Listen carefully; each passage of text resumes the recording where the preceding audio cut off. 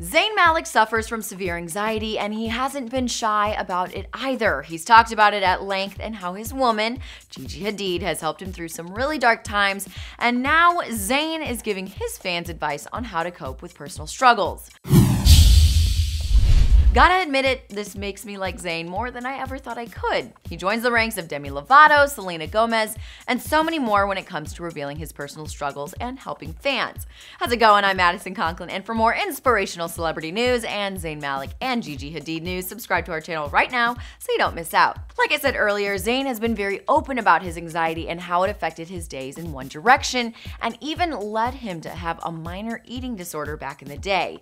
It was and still is that serious but now Zayn has a better handle on it and is living proof you can get through anything. Zayn opened to Us Weekly about his anxiety and what he's learned from it, saying, just being straight up, just being honest about everything, explaining what it is that makes you feel uncomfortable. Do you think Zayn has sound advice when it comes to anxiety and how to handle it? Comment below with your thoughts.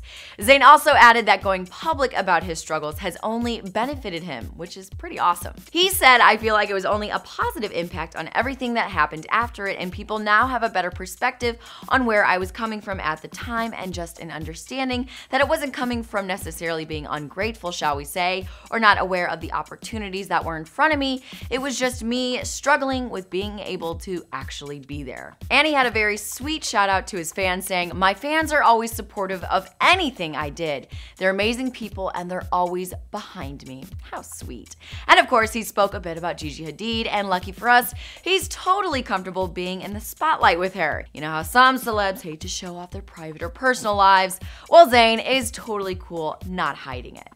Zayn is just a gift that keeps on giving, you guys. What do you think about Zayn's confession regarding his anxiety and his advice on how to cope with it?